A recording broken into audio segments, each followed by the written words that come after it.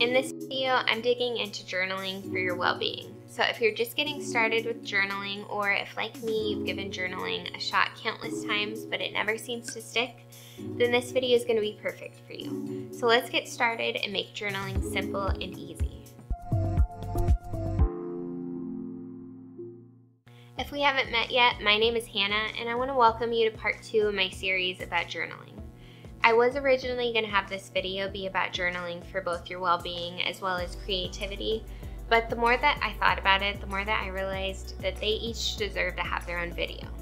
So this one's going to be about starting a well-being journal, and then part three is going to be all about creative journaling. I'm also providing a link in the description to a free printable worksheet to go along with the video, so don't forget to download yours afterwards. At the bare minimum, all you need to get started is a piece of paper and something to write with, or your phone or a computer. Personally, I found that physically writing out my thoughts and ideas is what I prefer, but there's definitely reasons why you might prefer to type things out or verbally record your thoughts. So it could be due to things like having a physical disability or pain when you write. It might just be easier for you to get all of your thoughts out with an alternative method, or maybe you just feel like an electronic journal is going to keep your entries more protected. So I found that I have less anxiety when I write things out versus typing, and I also just like the feeling of having a physical journal. So that's the method that works best for me, but it's perfectly fine if something works better for you. You don't need to feel bad if you need to do things differently, and as long as it's working for you, that's all that matters. In fact, journaling is really personal and you're likely going to find that when you start journaling, you're going to develop your own style. So I'm going to break down my process, but in no way do you have to journal in the same way that I do. Do what works best for you and find your own style. Okay, first things first, if you really want to experience the benefits of journaling, then you're going to need to develop some sort of a habit. And if you're at all like I was when I started, the thought of actually starting one might be overwhelming. So, growing up, I always wanted to be one of those people who kept a diary, and I started one at least five times, if not more. But after a few days of writing, I would just give up, and then I would have this empty diary lying around the house. I had no idea about what to write, and I was just also really awful about developing any kind of positive habits. So, when I finally started a journal this last time, I felt all this pressure that I was putting on myself because I was assuming that I was going to fail like every time previously. Luckily, I found some things that ended up helping me overcome that problem. The first was that I set up a reminder in my phone each day at a time when I knew that I could set aside at least five minutes to write. For me, I would do it right before bed so that I would have an easier time sleeping because I was able to get out all of my feelings, but the time of day doesn't really matter as long as it's something that you can commit to. After I finished journaling each day, I would mark off a day on my calendar because it would give me just enough of a reward to keep doing it. It was like getting to set my own record. And you can develop some sort of reward system for yourself that'll keep you on track. So, once you develop the habit of keeping a journal, you won't need to keep doing these things, but to get started, it can be really helpful, especially if you have a hard time building discipline and sticking to things. And the other thing that I did, and this ended up being really helpful for me, was to get a really cheap little notebook like this one right here. And I got like three of these for like six bucks from Target. And the reason why this was really helpful for me was that it helped me to delay gratification. And what I mean by that is that I always wanted a beautiful journal like this one right here. But instead, I got the cheap one and I told myself that the only way that I would get to have a nice one is if I can fill up the cheap one. And it, ended up working. Instead of allowing myself to have something that I wanted right away, I made myself work for it and in the process developed the habit. Okay, so next up is how to format your journal. If you're actually writing in a journal, I recommend doing a couple of things. So somewhere at the beginning of the book, write down what journal volume it is that you're starting as well as the beginning date. And then when you fill up the journal, you can put the end date.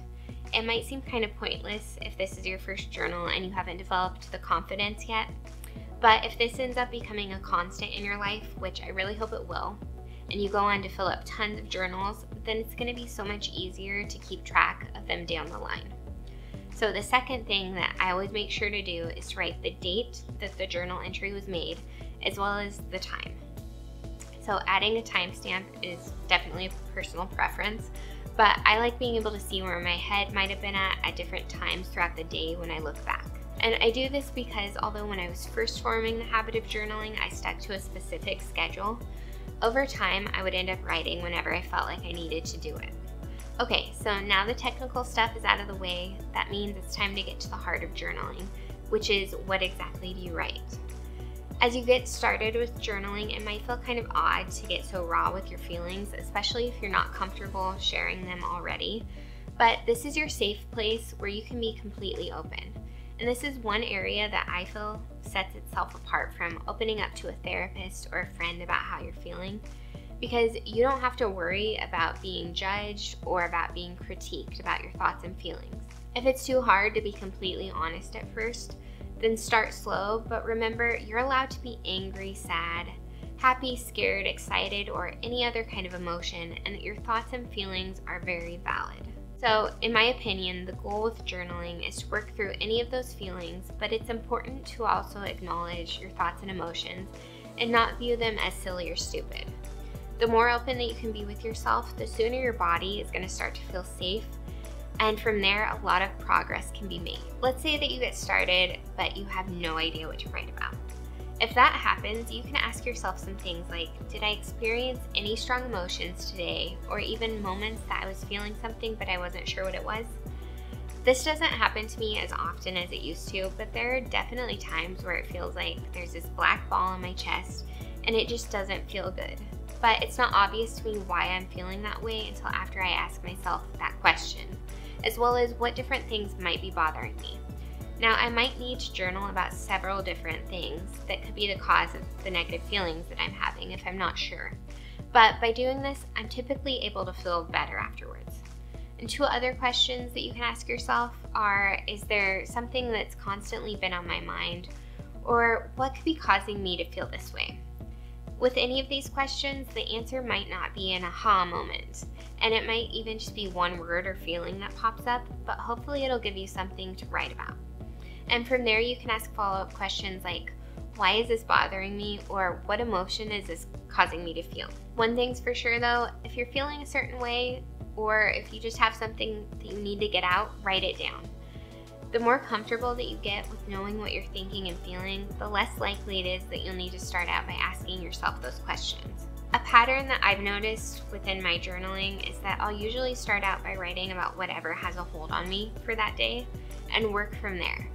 So, an example of that would be if I was feeling anxious over something, I would start writing and just write everything I can think of about what I'm feeling and thinking without making myself use a filter. Usually, when I do this, some of my heightened emotions will calm down and then I can start viewing the situation in a more rational way so I can work through what I'm feeling. Because of that, I've also found that I'm able to give myself advice that actually works for me and isn't so emotionally driven. And it also makes it easier for me to see areas that I might need to work on, but it can also develop empathy for others and even myself. This next tip might not happen every time, but something that I think can be helpful when journaling is to close out the entry on a more positive note or with something that you learned from what you just wrote, or even just a positive affirmation. So when you're writing, if the last thing that you end on is something really negative, then it's likely that it's going to be easier for your mind to gravitate back to thinking about that when you're done journaling. But if you can either end on something that you've taken away from your entry or a positive note, like something you're grateful for, then it's going to be easier to stay more positive and in a positive place when you get done with your entry. Whether you've got a beautiful journal to write in or you just have your phone, there doesn't need to be anything standing in the way of starting your own journal and reaping the benefits. So just get started. If you found value in this video, then please hit that like button and subscribe for more videos on gaining your happiest, healthiest, and best self.